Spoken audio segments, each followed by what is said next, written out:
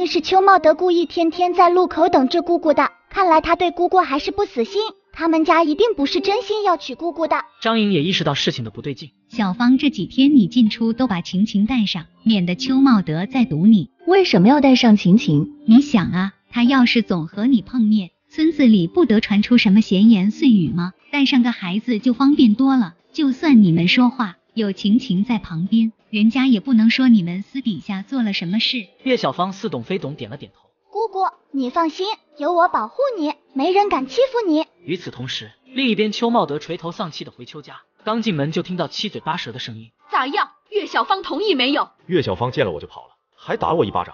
我看她压根没嫁过来的意思。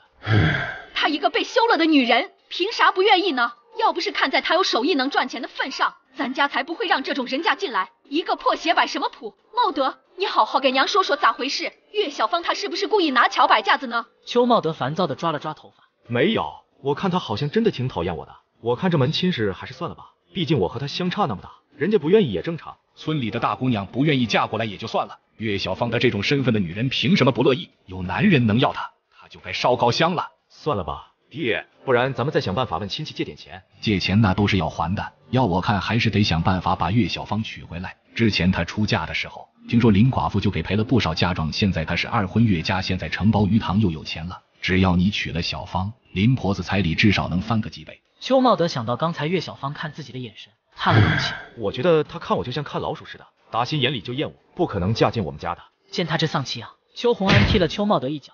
小芳不嫁进来，你弟弟们咋办？家里的地咋租？对，说的对，你再去试试看呗。我还指着你把嫂子娶回来，多赚点钱，给我也娶媳妇呢。不管用什么手段，咱们都得把岳小芳给娶回来才行。要说邱家到底是怎么盯上岳小芳的，还是前几天他们发现岳小芳的裁缝手艺竟然能赚这么多的钱？那你们说咋办？岳小芳根本不会心甘心愿嫁过来的。软的不行，咱就来硬的呗。我们这么多人，还搞不定一个黄毛丫头。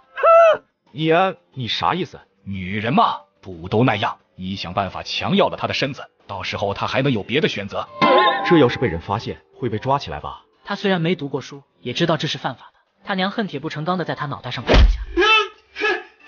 你也不想想，遇到这种事女人，也只有打落牙齿往肚里吞，只能乖乖听你的话，哪里还敢报警？岳小芳本来就是破鞋，你和她真的发生点啥，别人知道说不定还觉得是你吃亏呢。家里人纷纷给邱茂德壮胆气。要是他家兄弟找上门，你就说是他勾引你，把事情闹大点，他只能嫁给你，不然村民的唾沫星子不得把他淹死。呃，你胆子大点，只要她能嫁进来，咱家也不至于这么穷了。邱茂德在家里向来不打眼，娘疼爱的也是年龄偏小的弟弟，不然也不会到现在都没给他说个正常的媳妇。这还是他第一次被家里人委以重任。行，那我想想办法。反正岳小芳又不是第一次，自己这么做也算给他一个归宿，够对得起他了。这天下午，小芳正在家里，突然一个女人找上了她。小雪，你怎么来找我了？还好意思说，你回村里也不来找我玩，这不是想着你家人了吗？总不好去你婆家找你。再说了，我现在这种身份，去找你也会给你添麻烦。郭雪瞪他一眼，把我当什么人了？以后你尽管来找我，我婆婆她不会说啥。郭雪嫁过去没多久就怀孕了，顺顺利利生下来一个大胖小子，在婆家很立得住，自然有底气说这种话。